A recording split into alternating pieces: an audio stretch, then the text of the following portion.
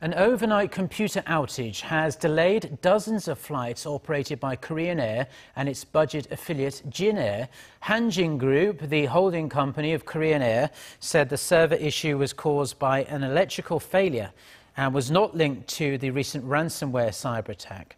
The outage resulted in the delay of 39 flights, with websites and mobile services being unavailable, as you can see, for several hours from late Sunday to early Monday before they were restored. All online services offered by Korean Air and other Hanjin Group affiliates are now operating normally.